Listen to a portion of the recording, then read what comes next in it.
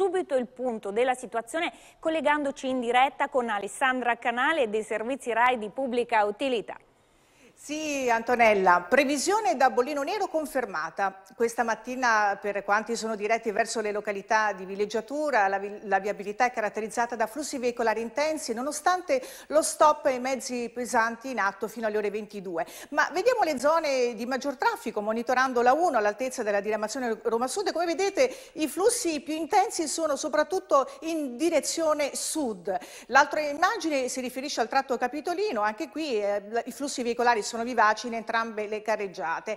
Inizio comunque nel segnalarvi che oltre al traffico intenso la viabilità è stata compromessa da alcuni incidenti, uno eh, cioè in, è in fase di ripristino eh, alla diramazione di Roma Nord tra il bivio della 1 Milano-Napoli e la barriera di Roma Nord in direzione del grande raccordo anulare. E una notizia appena giunta di una perdita di carico sulla 12, la Roma-Civitavecchia tra Macarese e Fregene in direzione del bivio dell'autostrada Roma-Fiumicino in direzione della capitale. Queste le notizie di maggior rilievo, grazie per l'attenzione attenzione, guidate con prudenza, buon viaggio, linea Fronte viabilità, come da previsioni questo è un sabato di agosto complicato per chi sta raggiungendo la meta delle vacanze. In mattinata il traffico è stato molto intenso con code e rallentamenti. Per gli aggiornamenti ci colleghiamo col CIS, Viaggiare Informati, con Alessandra Canale. Sì, grazie della linea, buon pomeriggio. Previsione da bollino nero confermata questa mattinata per quanti sono diretti verso le località di villeggiatura. La viabilità è caratterizzata da flussi veicolari intensi, soprattutto eh, verso la riviera adriatica, nonostante lo stop ai mezzi pesanti in atto fino alle ore 22 di questa sera. Vediamo le zone di maggior traffico monitorando la 14, l'altezza di Rimini, flussi veicolari vivaci in entrambe le carreggiate. Analoga situazione la ritroviamo al eh, ramo Casalecchio. Ad ogni modo ci sono code con tempi di percorrenza di due ore, pensate per percorrere la 14 tra il bivio della 1 e Cesena rispetto ai normali eh, 15-30 minuti. Viabilità congestionata anche tra Reggio Emilia e bivio della 14 con tempi di percorrenza di 50 minuti e tra Faenza e Bologna San Lazzaro e peraltro si è verificato anche un incidente. Molto trafficata la 22 autostrada del Brennero tra Carpi e il bivio della 1 in direzione Modena. Queste le notizie di maggior rilievo, grazie per l'attenzione attenzione, guidate con prudenza, buon viaggio e linea allo studio. Un sabato da bollino nero su strade e autostrade per il secondo fine settimana di esodo estivo. Vediamo dunque qual è la situazione con il CIS Alessandra Canale. Sì, grazie della linea. Previsione da bollino nero confermata. Questa mattinata per quanti sono diretti verso le località di villeggiatura la viabilità è caratterizzata da flussi veicolari intensi soprattutto verso la Versilia nonostante lo stop ai mezzi pesanti in atto fino alle ore 22 di questa sera. Le maggiori criticità che andiamo ad approfondire con l'ausilio della grafica riguardano la 15 e la Parma La Spezia perché si registrano code motivate da traffico intenso tra Rosvincola Ulla e il bivio della 12 Genova Rosignano in direzione direzione di quest'ultima.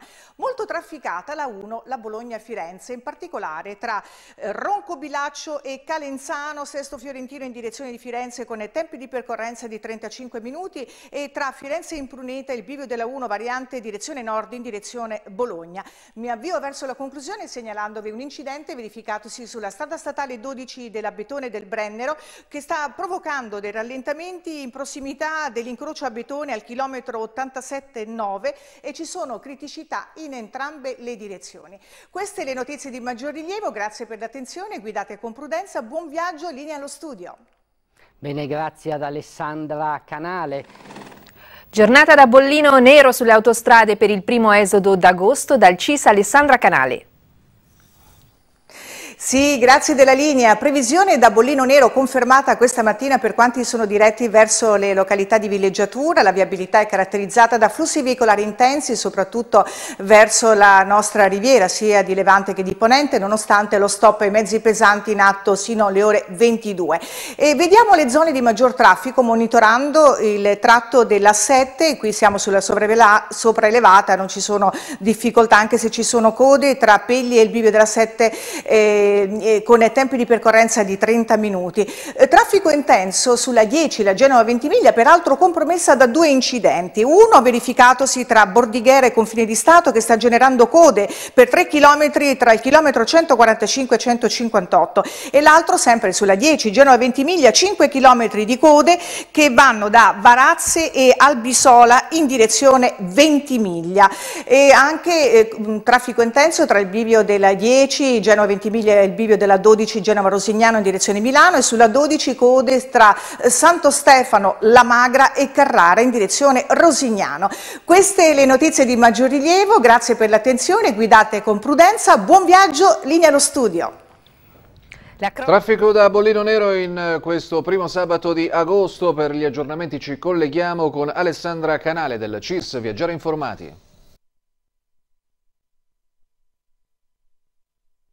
Confermata questa mattinata per quanti sono diretti verso le località di villeggiatura, la viabilità è caratterizzata da flussi veicolari intensi nonostante lo stop ai mezzi pesanti in atto fino alle ore 22. E le zone di maggior traffico della nostra regione sono soprattutto quelle sulla 14 con code che vanno da Pescara e Val di Sangro in direzione Bari con tempi di percorrenza di 45 minuti rispetto ai normali 15 minuti. Peraltro si è verificato un incidente, trattasi di un tamponamento tra tre auto in corsia di sorpasso tra Ortone e Lanciano in direzione Bari che stanno generando code al momento di 3 km. Poi molto trafficata anche la 24 tra la capitale, quindi tra Tivoli e Carsoli in direzione Teramo.